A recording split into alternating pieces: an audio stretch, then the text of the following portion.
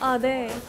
안녕하세요. 로켓펀치 다현입니다. 어, 우선 입학식을 했던 때가 엊그제 같은데 이렇게 벌써 졸업을 한다는 게 실감이 안 나고 또 3년 동안 좋은 친구들, 좋은 선생님들 만나서 어, 즐거운 추억으로 마무리할 수 있게 돼서 너무 감사하고 또 그래서 더 아쉬운 마음이 큰 것 같아요.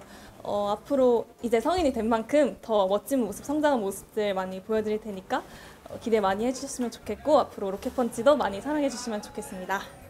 자 이제 성인인데 제일 하고 싶은 거 하나만 뽑는다면 어떤 게 있어요?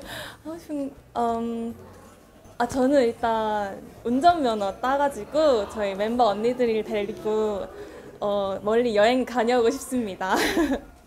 자 로켓펀치 올해 활동 계획 좀 말씀해 주세요.